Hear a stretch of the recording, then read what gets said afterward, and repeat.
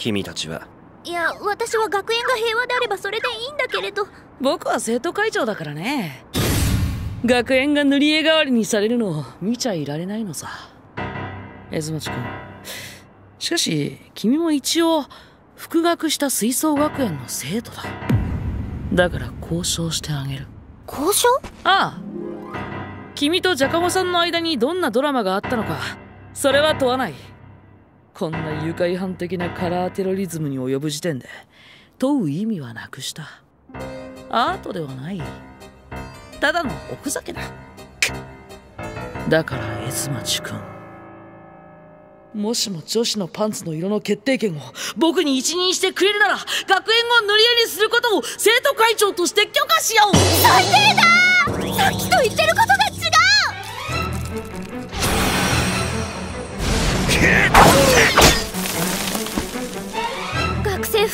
脆そうな灰色に変えて切り裂いた。じゃあまた露出した肌にあの青汗が来る。全身青ざめて死ね。カラーオブビューティー。青？あいにくその色はもう空っぽだ。何？どうして？どうして？青く染まらない！空を見てみな伊豆町君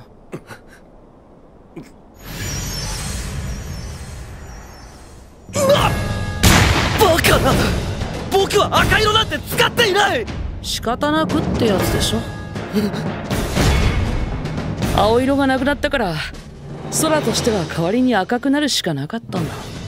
青がなくなったからってまさか。熊川君まさか青色をなかったことにしたの？そうオールフィクション。世界から青色をなかったことにした青い空も青い海もどこにもない。もう誰も青ざめなくていい。おお前自分の身を守るために世界から青をなくしたのか？それがどんな責められるべき悪事か分かってるのか？悪事？僕は悪くない。そして青だけじゃない。赤も当然なかったことにする赤が赤がなくなった。これからは何の色で止まればいいんだ。これぞアートだねエズマチ君。ところで赤はどう切り札に使う予定だったの？興味津々でたまらないよ。やめろやめろやめろやめろやめてくれ世界から色をこれ以上なくすんじゃない世界から色をなかったことにするな!はいはい。エズマチ君やめてくれよ。僕はそこまでするつもりはなかったのに。決して12色までって思ってたのに。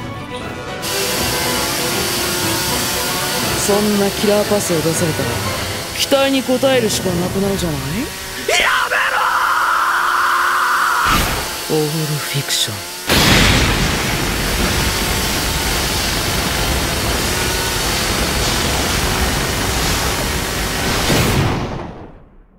全ての色をなかったことにした。使える色がなくなれば色使いというスキルもなかったことになるよね。でも大丈夫。たとえこの世から色がなくなったところで女子のパンツの色気は永遠のものだ。しかしまあ思った通りに期待外れだ。やっぱりこの程度じゃ安心院さんは倒せない。安心院さん。誰だよそいつは。世界をこんなに色あせさせてまで倒したい敵がお前にはいるのかよ！いるんだよ。目の色を変えてまで倒したくなる相手がねふざけるな！こんな色あせた世界に何の意味がある！意味なんかないさ。色あせようとあせまいと世界に意味なんてない。人間は無意味に生まれて無関係に生きて無価値に死ぬに決まってるんだから。世界には目標なんてなくて人生には目的なんてないんだから。よかったねズマチ君。今度はちゃんと急所にさせたんだ。赤がなければ流血も流血じゃないし致命傷にはならないって。念願の初白星かい？熊川生徒会長。いやこんな見渡す限り真っ白な世界じゃ。白星なんて景色に紛れて埋もれて見えなくなって。